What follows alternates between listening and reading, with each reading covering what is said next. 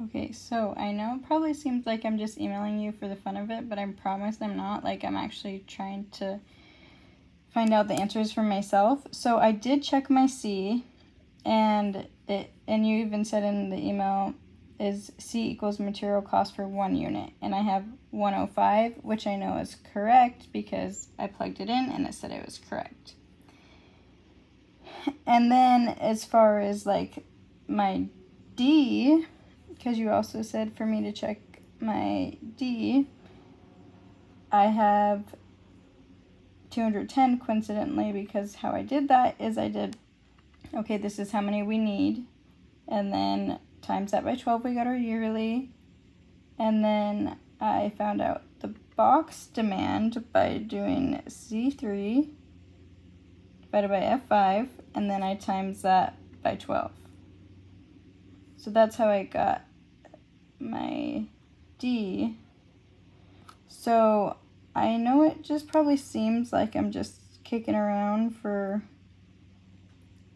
giggles, but um, I'm actually really trying, and it's this homework is actually very very frustrating because, well, I guess I'm just dumb and I don't understand how to convert units. I'm really trying, and then also like when it goes and talks about like these questions, it's like five of them.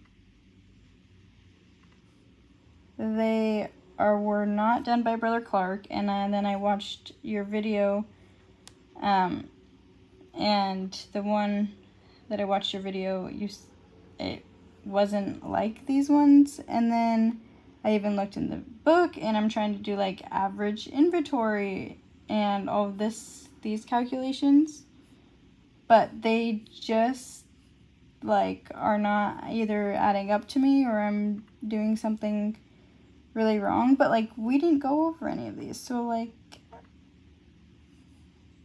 like this dairy one? Nah I'm so frustrated. Hold on.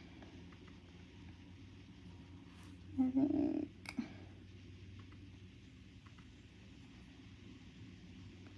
Like, I know all these numbers are important, but, like, I can't seem to find it or understand in the reading. I'm probably staring right at it. It's probably right here. Literally right here. I just cannot, for the life of me,